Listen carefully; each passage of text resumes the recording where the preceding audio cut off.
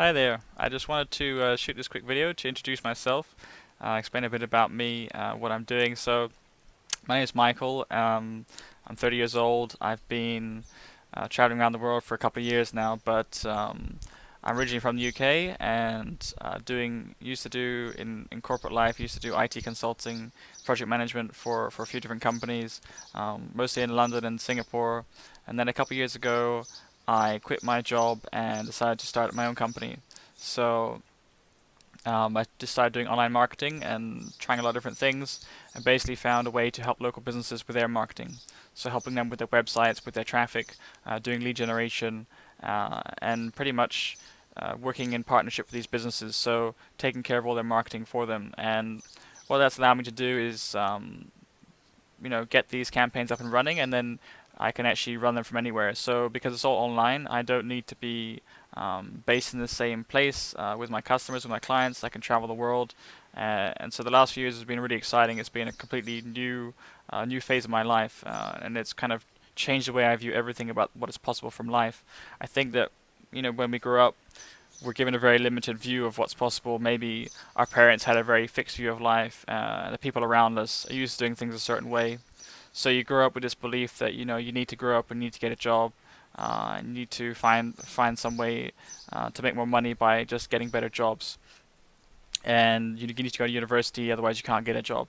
So I think that in school we're not taught to think um, in terms of what's possible because you know look at the school teachers they they're in the same system how can they teach you something they don't know themselves but the world is changing so fast there's so much opportunity and so we live in the best time possible, imaginable, because of all these possibilities. And we can use technology uh, to do things like starting internet businesses, um, to work internationally.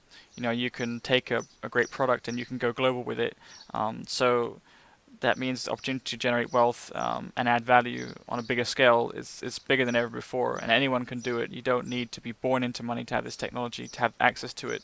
Uh, anyone with an internet connection uh, can, can study and teach themselves how to do something. You don't need a university degree, you don't need to have the money uh, to get started. So my business was very low capital. I started out with only a couple of months of, uh, of savings, you know, to live on uh, when I quit. So it was quite a big risk for me. Um, but I was able to make it work, and I think a lot of people, other people can too. So when you think about the risks of starting a business, you know, a lot of people think, oh, I need a lot of money. Oh, what if it doesn't work? Oh, you know, how am I going to pay myself, pay pay the bills, look after my family? Um, and you can kind of talk yourself out of doing something before you even start. So for me, I was lucky. I didn't really have any dependents, uh, dependencies, people depending on me. So the only person I have to support is myself. Uh, and the worst case is if I didn't make it work, I'd have to go back and, and go back to the same job I didn't like. So there wasn't really a good case for not doing it. Uh, and it took a while for me to get over my, my fears and my doubts. Um, I think for me, I learned from pain a lot better than pleasure. So because the job was so painful, um, that was that was a driving factor for me in, in finding the courage uh, and finally saying, "This is it. I've had enough. I can't I can't live like this."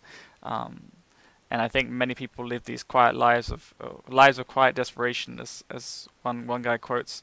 Um, it's a famous quote. So that means we're all just trying to keep our head down, play safe, um, you know, make make ends meet, um, and raise a family and do whatever else we're trying to do in in our, in our off time. Um, but once you do your own business, you can integrate your life the way you want. You don't even necessarily have to uh, you can work more and you can work harder when you're younger to build something, but you don't need to pour every hour into you know into your of your day. You can split up your day as you want. So you know, I get up, I work out, I meditate.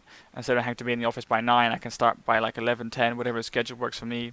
Uh, and oftentimes I work longer, harder hours than I did uh, in nine to five, but I'm enjoying it, so it doesn't seem as hard. And that's the key, is that when you're doing something you're really passionate about, it's no longer uh, this chore and it's not like this day after day grind, this Monday to Friday where you just go through this loop and you just loop, you know, every week, every month, every year becomes this very, uh, it just kind of all blends into each other. So one thing I've noticed since quitting and doing my own business is that that everything around me is different all the time and that you know because I'm traveling as well all the environments are different all the situations are different and time doesn't blend together you're able to think you know what's happened the last month and the last year. So much has happened every every year, every month that um, that it's so different from working nine to five, where you're just in the same routine, same pattern, same habit, and maybe once a year you go on holiday, or you know twice a year, and that's kind of the highlight of your of your year.